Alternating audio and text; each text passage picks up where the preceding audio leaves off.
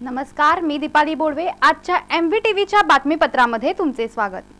शासनाच्या आवाहनाला प्रतिसाद देत अनेकांनी धुळवळ केली साधेपणाने. कोरोनाची साखळी ब्रेक करण्यासाठी सरकारने तीन दिवस जमावबंदी जाहीर केली आहे. रविवारी निर्बंध पायदळी तुडवल्याचे दिसून येत होते. मात्र सोमवारी शहरात जमावबंदीचे काटेकोरपणे पालन करण्यात आले. पालिकेच्या आवाहनाला प्रतिसाद देत अनेकांनी धुळवळ साधेपणाने साजरी केली. जमावबंदीमुळे रस्त्यावर फारशी वर्दळ नसल्याने शुकशुकाट दिसून येत होता. Bureau report MBTV news.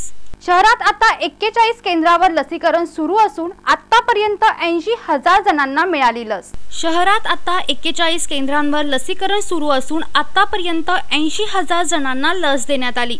विशेष म्हणजे पहिल्या टप्प्यातील करोना योद्धांचे लसीकरण शंभर टक्क्यांपर्यंत पूर्ण झाले आहेत. बावीस हजार आठशे बासष्ट कोरोना योद्धांना लस देण्यात आली होती. Bureau report M V T V news पालिका प्रशासनाने कोरोना वाढीमुळे बंद केलेली आरोग्य व्यवस्था पुन्हा केली खुली. पालिका प्रशासनाने कोरोनावाढीमुळे बंद केलेली आरोग्य व्यवस्था खुली करण्याचे नियोजन केले असून आठवडाभरात सर्व प्रकारच्या आणखी पाच हजार खाटांची व्यवस्था करण्यात आली आहे. त्याचबरोबर कामगार रुग्णालयातही काळजी केंद्र सुरू करण्यात आले आहे. रहेजा गृहसंकुलात एक हजार तर इंडिया बुल येथे दोन हजार खाटांचे काळजी केंद्र सुरू करण्यात येणार आहेत. Bureau report M V T V news. गेल्या काही दिवसात शहरात वाढत असलेली कोरोना रुग्णसंख्या आटोक्यात आल्याचे चित्र. गेल्या काही दिवसात शहरात वाढत असलेली कोरोना रुग्णसंख्या सोमवारी थोडी कमी झाल्याचे चित्र दिसून येत होते. दैनंदिन रुग्णसंख्या आठशे पेक्षा अधिक झाली होती. सोमवारी शहरात चारशे ब्याण्णव नवे करोनाबाधित आढळले तर दोन जणांचा मृत्यू झाला आहे. Bureau report M V T V news. कोरोनाच्या नियमांचे उल्लंघन करण्यावर पालिकेने धडक मोहीम केली सुरू. कोरोनाच्या नियमांचे उल्लंघन करणाऱ्यांवर पालिकेने धडक मोहीम सुरू केली आहे.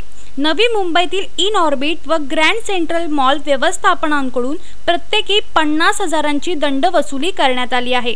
Bureau report M T V news. सिडकोची भूमिका कर्मचाऱ्यांना आता दुसऱ्या घराचा लाभ मिळता येणार नाही.